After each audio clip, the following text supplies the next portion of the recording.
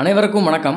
Welcome to TNPSC TN URB preparation இந்த வீடியோவில் பார்த்தீங்க அப்படின்னா ஜிடி கான்செப்டுக்கு தேவையான முக்கியமான ஒரு இருபத்தஞ்சி ஜிகே கொஸ்டின் தான் பார்க்க போகிறோம் இது பார்த்தீங்க அப்படின்னா பகுதி ஐந்து.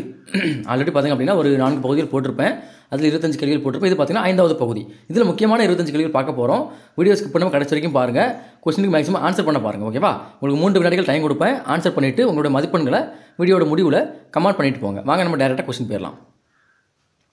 முதல் கேள்வி. உங்களுக்கு எல்லா சப்ஜெக்ட்லேயும் ஐந்தைந்து கேள்விகள் வச்சுருப்பேன் ஓகேவா அதாவது வரலாறு புவியியல் பொருளாதாரம் அடுத்து பார்த்தீங்கன்னா இந்திய அரசியலமைப்பு. நாலு டாபிக் உண்டு. நாலு டாப்பிக்லேருந்து பார்த்தீங்கன்னா உங்களுக்கு வந்து ஐந்து ஐந்து கேள்விகள். ஒரு லாஸ்ட் ஒரு ஐந்து கேள்விகள் பார்த்தீங்கன்னா பொது அறிவு எல்லாத்தையும் மிக்ஸ் பண்ணி எடுத்தது கேள்விகள் ஓகேவா ஸோ முதல் கேள்வி வரலாறுலேருந்து சந்திரகுப்தர் காலத்தில் இந்தியா வந்த கிரேக்க பயணி யார்? சரியான ஆன்சர் கெஸ் பண்ணுங்க பார்க்கலாம். சரியான ஆன்சர் பார்த்தீங்க அப்படின்னா ஆப்ஷன் டி மெகஸ்தனீஸ். இந்த மெகஸ்தனீஸ் தான் பார்த்தீங்கன்னா சந்திரகுப்தர் காலத்தில் இந்தியாவுக்கு வருகை வருகை புரிந்த ஒரு கிரேக்க பயணி. So option D Megasthenes. Indica என்ற நூலின் ஆசிரியர் யார்? சரியான ஆன்சர் கெஸ் பண்ணுங்க பார்க்கலாம். சரியான ஆன்சர் பார்த்தீங்க அப்படின்னா ஆப்ஷன் டி மெகஸ்தனிஸ். இந்த மெகஸ்தனிஸ் தான் பார்த்தீங்கன்னா இந்தியா அப்படிங்கிற நூல் எழுதியிருப்பாரு. இது பார்த்தீங்கன்னா குப்தர்கள் காலத்தில் நடைபெற்ற அந்த வரலாற்று சிறப்புகளை பற்றி இந்த இண்டிகா நூலில் குறிப்பிட்டிருப்பாரு. So option D Megasthenes. இந்த மெகஸ்தனிஸ் யாருன்னு பார்த்தீங்க அப்படின்னா கிரேக்கர் ஆட்சி புரிந்த செல்லுக்கர் நிக்கிட்டேஸ்னு சொல்லுவாங்க ஒரு மன்னர். அவருடைய தூதுவராகத்தான் பார்த்தீங்கன்னா இந்தியாவுக்கு வருகை புரிவார். யார்? இந்த மெகஸ்தனிஸ். குப்தர்கள் காலத்தில் வந்திருப்பார். அடுத்த கேள்வி. சந்திரகுப்தர் சாரி சந்திரகுப்தர் மௌரியர் யாருடன் தென்னிந்தியா வந்தார்? அதாவது பார்த்தீங்கன்னா வடக்க ஆண்டுட்டு இருக்கும்போது பார்த்தீங்கன்னா ஒரு புலவர் கூட சாரி புலவர்னு சொல்ல முடியாது ஒரு ஆளுன்னு வச்சுக்கோங்களேன். ஸோ ஒரு துறவி கூட பார்த்தீங்கன்னா இந்தியாவுக்கு வருவார் தென்னிந்தியாவுக்கு வருவார். கர்நாடகா வரைக்கும் வருவார். ஸோ அப்படி யார் கூட வந்தார் கேட்குறாங்க சரியான ஆன்சர் கெஸ் பண்ணுங்க பார்க்கலாம். சரியான ஆன்சர் பார்த்தீங்க அப்படின்னா பத்ரபாகு. அவர் கூட தான் பார்த்தீங்க அப்படின்னா அவர் தென்னிந்தியாவுக்கு வருவார். எங்கே? கர்நாடகாவுக்கு. கர்நாடகாவில் எங்கே? சரவண சாரி சிரவண பெரகுடா அப்படிங்கிற இடத்துக்கு வருவார். அங்கேயே பார்த்தீங்கன்னா அவர் இயற்கையும் எழுதிடுவார். So option C Bhadrabahu. அடுத்த கேள்வி. சமண சமயத்தின் ஒன்றாவது தீர்த்தங்கரர் யார்? சரியான ஆன்சர் கெஸ் பண்ணுங்க பார்க்கலாம். சரியான ஆன்சர் பார்த்தீங்க அப்படின்னா ஆப்ஷன் பி ரிஷப தேவர் இவர் தான் பார்த்தீங்கன்னா சமண சமயத்தின் முதல் தீர்த்தங்கரர் ஆவார். அல்லது ஆதிநாதர் அப்படின்னு கூட சொல்லுவாங்க. இவருக்கு இன்னொரு பேர் உண்டு. ஆதிநாதர் அல்லது ரிஷப தேவர் இந்த ரெண்டு பேரை நீங்கள் வந்து அழைச்சிக்கலாம். அடுத்த கேள்வி. சந்திரகுப்த மௌரியருக்கு இந்த ஆண்டு அஞ்சல் தலை வெளியிடப்பட்டது. சரியான ஆன்சர் கெஸ் பண்ணுங்க பார்க்கலாம். சரியான ஆன்சர் பார்த்தீங்க அப்படின்னா ஆப்ஷன் பி ரெண்டாயிரத்தி ஒன்று ரெண்டாயிரத்தி ஒன்று தான் பார்த்தீங்கன்னா இந்திய அரசு சந்திரகுப்தர் மௌரியர் உருவம் பொறித்த அந்த அஞ்சல் தலையை வெளியிட்டிருப்பாங்க. ஸோ ஆப்ஷன் பி ரெண்டாயிரத்தி ஒன்று. அடுத்து இது பார்த்தீங்கன்னா இந்தியன் பாலிட்டி அதாவது இந்திய அரசியல் எடுக்கப்பட்ட முக்கியமான கொஸ்டின்ஸு அதில் முதல் கேள்வி தேசிய கீதம் எந்த பத்திரிகையில் முதல் முதலாக வெளிவந்தது? சரியான ஆன்சர் கெஸ் பண்ணுங்க பார்க்கலாம். சரியான ஆன்சர் பார்த்தீங்க அப்படின்னா ஆப்ஷன் ஏ தத்துவ போதினி. இந்த பத்துக்கள் தான் பார்த்தீங்கன்னா முதல் முதலாக தேசிய கீதம் வந்து பார்த்தீங்கன்னா பாரத விதாத்தா அப்படிங்கிற பேரில் வெளிவரும். என்ன பத்திரிகைன்னு பார்த்தீங்கன்னா தத்துவ போதினி ஆப்ஷன் ஏ அடுத்த கேள்வி. தேசிய கீதத்தை ஆங்கிலத்தில் மொழிபெயர்த்தவர் யார்? ரவீந்திரநாத் தாகூர் பார்த்தீங்கன்னா வங்காள மொழியில் இந்த தேசிய கீதத்தை எழுதியிருப்பார். இது ஒரு ஆள் ஆங்கிலத்தில் மொழிபெயர்த்திருப்பார். யாருன்னு கேட்குறாங்க சரியான ஆன்சர் கெஸ் பண்ணுங்க பார்க்கலாம். சரியான ஆன்சர் பார்த்தீங்க அப்படின்னா ரவீந்திரநாத் தாகூர் அவர் எழுதிய அந்த தேசிய கீதத்தை அவரே ஆங்கிலத்தில் மொழிபெயர்த்திருப்பார். ஸோ அதனால் பார்த்தீங்கன்னா அவருக்கு நோபல் பரிசும் கொடுத்துருப்பாங்க. அடுத்த கேள்வி. வந்தே மாதரம் பாடலை பாடியவர் யார்? சரியான ஆன்சர் கெஸ் பண்ணுங்க பார்க்கலாம். சரியான ஆன்சர் பார்த்தீங்க அப்படின்னா பக்கீம் சந்திர சட்டர்ஜி. இவர் தான் பார்த்தீங்க அப்படின்னா வந்தே மாதரம் பாடலை எழுதியிருப்பார். தேசிய கீதம் வேற தேசிய பாடல் வேற. தேசிய பாடல் தான் என்னது? வந்தே மாதரம். இது எழுதியது தான் யார்?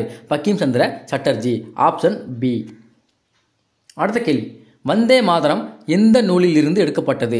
வந்தே மாதரம் பார்த்தீங்கன்னா தனியாக எழுதியிருக்க மாட்டார். அதுக்கு ஒரு நாவல் எழுதியிருப்பார். அந்த நாவலில் இருந்து தான் பக்கீம் சந்திர சட்டர்ஜியோட அந்த தேசிய பாடலை வந்து நம்ம எடு ஏற்றுக்கொள்வோம் அது என்ன நூல்? சரியான ஆன்சர் கெஸ் பண்ணுங்க பார்க்கலாம்.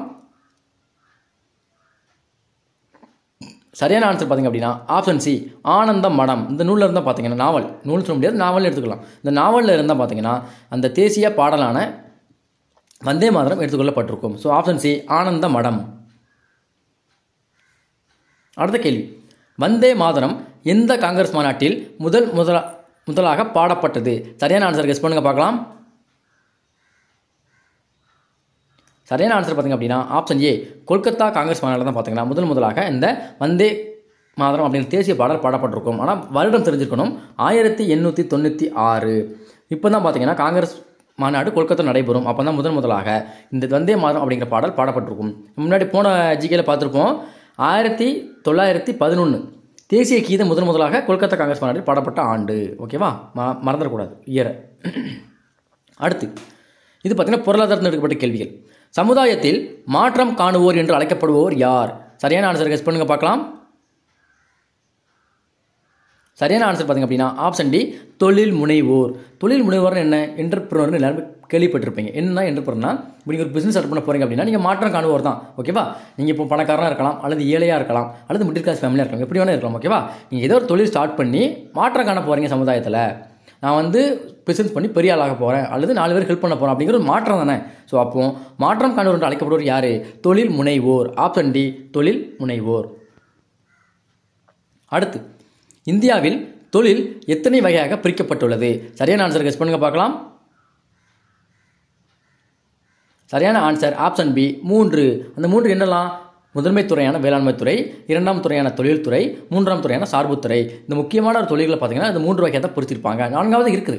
அடுத்து பார்த்தீங்கன்னா சார்புத்துறை அடுத்து பார்த்தீங்கன்னா பணிகள் துறைன்னு சொல்லுவாங்க. அடுத்து ஊடகம் சொல்லுவாங்க. இந்த மாதிரி வரும் ஓகேவா ஆனால் இந்தியா பொறுத்த வரைக்கும் பொருளாதாரத்தை பொறுத்த வரைக்கும் மூன்று துறைகள் தான் பிடிச்சிருப்பாங்க முதன்மை துறை இரண்டாம் துறை மூன்றாம் துறை. அதுக்கு வேறு பேர்கள் என்னது? வேளாண்மை துறை தொழில்துறை சார்புத்துறை இந்த மாதிரி மூன்று துறைகளை பிடிச்சிருப்பாங்க ஸோ ஆப்ஷன் பி மூன்று. இயற்கை பொருட்களை முதன்மை பொருட்களாக மாற்றுவது எந்த துறை? சரியான ஆன்சர் கெஸ் பண்ணுங்க பார்க்கலாம்.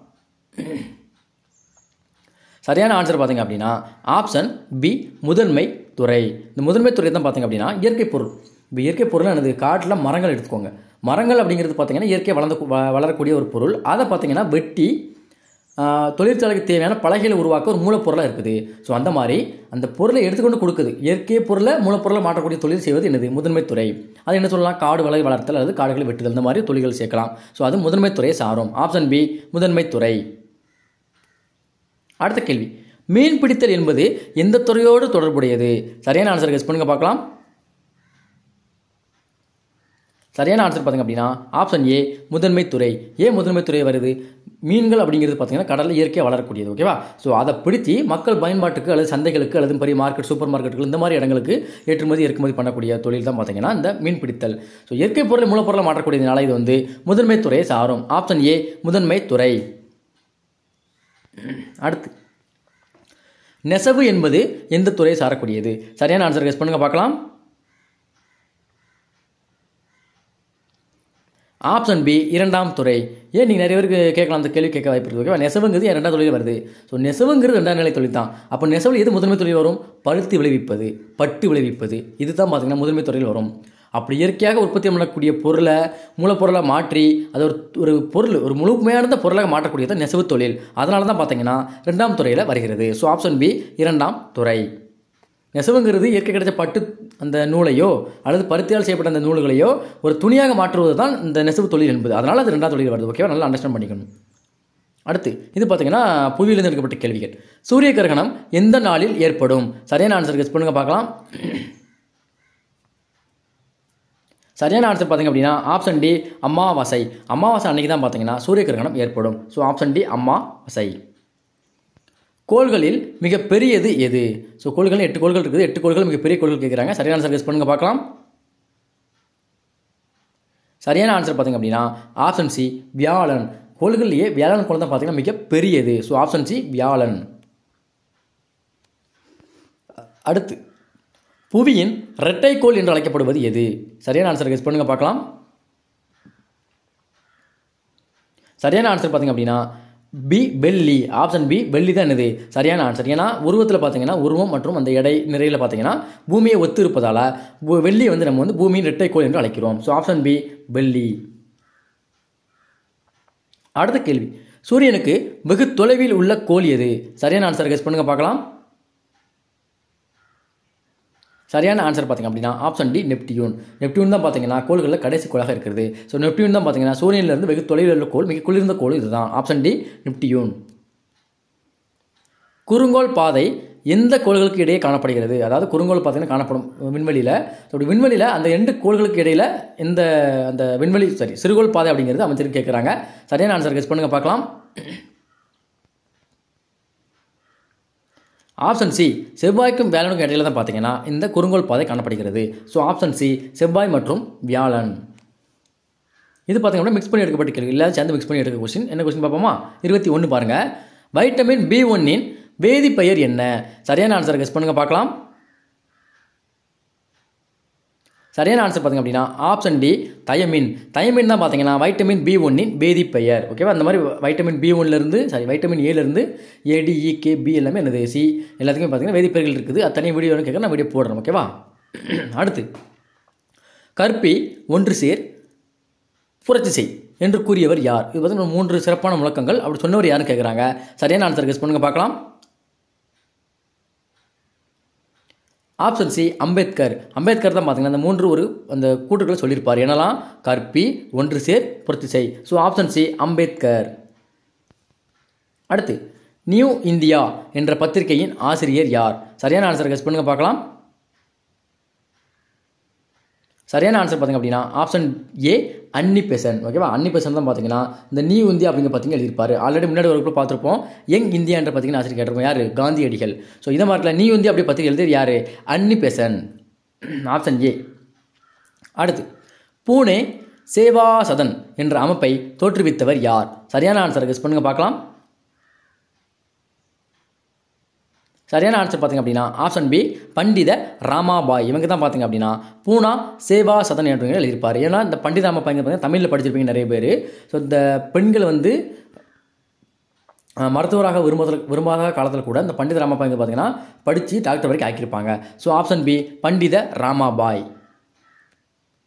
Last question அடிப்படை கடமைகள் எங்கிருந்து பெறப்பட்டது? சரியான ஆன்சர் கெஸ் பண்ணுங்க பார்க்கலாம். சரியான ஆன்சர் பார்த்தீங்க அப்படின்னா ஆப்ஷன் ஏ ரஷ்யா. ஸோ அந்த மாதிரி ரஷ்யான்னு இருக்காது புக்கில் என்ன போட்டிருப்பாங்க? யுஎஸ்எஸ்ஆர் அப்படின்னு போட்டிருப்பாங்க ஓகேவா ஸோ அப்போ அப்படி இருந்தது. இப்போ பார்த்தீங்க அப்படின்னா Russia Soviet Soviet Russia union இருக்கும். அதாவது பிரிக்கப்படாத ரஷ்யான்னு இருக்கும். இப்போ பிரிச்சதுனால என்னது? Russia. So option A Russia என்பது சரியான ஆன்சர் ஸோ இந்த மாதிரி இருபத்தஞ்சு கேள்வி முக்கியமான கேள்விகள். இதுக்கு உங்களில் இருபத்தைந்துக்கு எத்தனை கேள்விகளுக்கு சரியாக பதிலளிக்க முடியும் முடிஞ்சது அப்படிங்கிறத கமெண்ட் பண்ணிட்டு போங்க. மறக்காம நம்ம சேனலை சப்ஸ்கிரைப் பண்ணிக்கோங்க. ஜிடி படிக்கிற உங்களோட ஃப்ரெண்டுக்கு நம்ம வீடியோ மேக்ஸிமம் ஷேர் பண்ணி விடுங்க. நம்ம சேனலையும் சப்ஸ்கிரைப் பண்ண சொல்லுங்கள் நன்றி வணக்கம். அடுத்த வீட்டில் சந்திக்கலாம். இதற்கான பிடிஎஃப் வந்து ஃப்ரீயாக நம்மளுடைய டெலிகிராம் சேனலில் கொடுக்குறேன். வேணுங்கிறோம் பயன்படுத்திக்கோங்க. ஸோ நன்றி வணக்கம்.